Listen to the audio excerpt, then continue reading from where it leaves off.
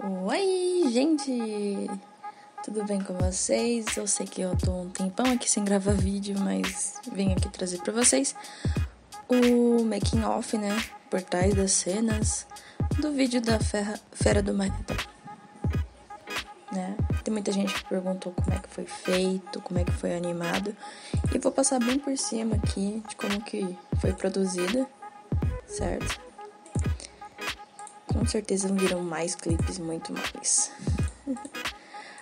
Tudo começou com o Animatics, né? Que são esses rascunhos aqui. Fiz bem rapidão. Depois dos rascunhos foram feitos modelos 3D. Deixa eu tirar aqui o vídeo. Aqui o modelo 3D.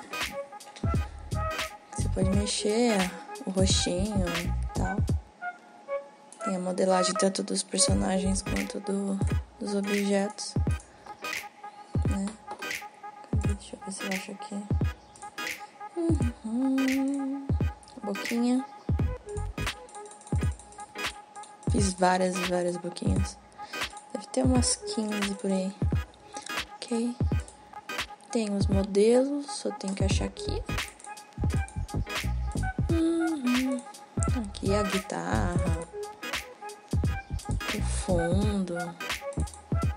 Opa, não é o fundo não, porque é a marreta. Tá meio. A sala que, que eles ficam correndo. Tem a sala que eles tocam, que tá a banda, né? Depois que eu modelo tudo, eu jogo pra fazer o cenário de cada um. Vou pegar um aqui legalzinho. Esse aqui é o principal lá. Tem eles animados.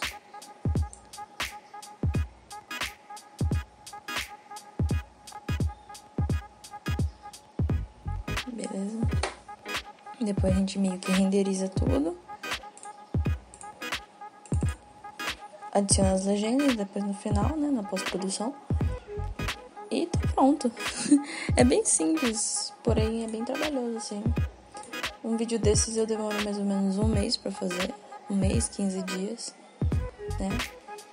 Tem também essa parte aqui, a ilustraçãozinha do, da logo. E é isso, galera. Só tirando uma dúvida mesmo. Falou!